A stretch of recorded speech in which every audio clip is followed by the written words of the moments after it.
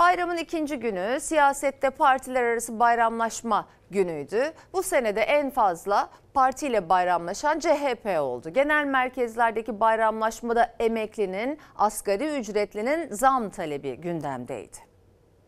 Böyle buyurun lütfen. Tekrar hoş geldiniz. Önümüzdeki süreçte asgari ücrette bir iyileştirme yapılması konusunda vatandaşımızın büyük bir beklentisi var. Asgari ücretin mutlaka iyileştirilmesi gerekiyor. Umarım bu bayramda böyle bir müjdeyi AK Parti olarak sizler tüm asgari ücretlilere verirsiniz. Milletimizden almış olduğumuz emaneti en iyi şekilde taşımaya devam edeceğiz. İşte hep almak değil biraz da vermek lazım. CHP heyetinden AK Parti'ye bayram ziyareti. CHP Genel Başkan Yardımcısı Deniz Yavuz Yılmaz asgari ücreti sordu. Beklediği yanıtı alamayınca sözünü esirgemedi. Bayramın ikinci gününde partiler arası bayramlaşmada emeklinin, asgari ücretlinin durumu ekonomik kriz konuşuldu. Sayın Cumhurbaşkanımız defalarca ifade ediyor. Her e, söyleminde, her mecrada biz vatandaşımızı enflasyona ezdirmeyeceğiz. Toplumun bütün kesimleri bayramı bayram gibi yaşayamıyor ne yazık ki. Emekli bir çiftin çocuklarını bayramda ziyarete gitmesinin bile maliyeti çok çok yüksek. fırsat eşitliği temelinde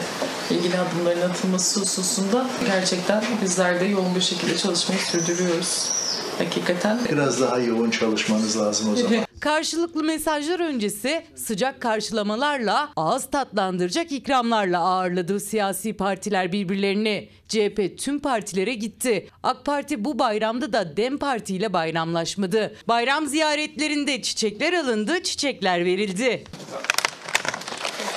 Yeniden Refah Partisi'ne bayramlaşmaya giden MHP heyetine Yeniden Refah Partili Aydal'ın sorusu gelen yanıt en çok konuşulan diyalog oldu. İnşallah sağlığı çok daha iyiye gider. Devlet Bey evlenseydi hanıma iyi bakardı.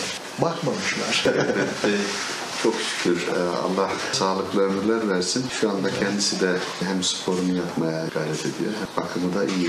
Son durumu nasıldır? bu Sağlığı evlilik iyi meselesi hani genel başkanımız espri kendi olarak söylüyor. Hani bir adam diri duruyorsa hanımı yüzünden de diyorlar o da pek doğru değil. Hanımı yüzünden çökenler de var.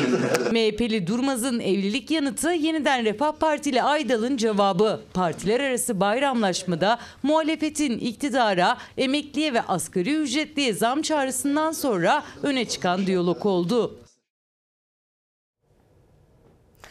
Ne garip şu bayramlaşmalar, sahte suratlar, sahte gülümsemeler, dokundurmalar, bıyık altı gülüşler. Ahan da nasıl cevap verdim vesaire. Hep komik gelir bana ama bu defa çok farklı.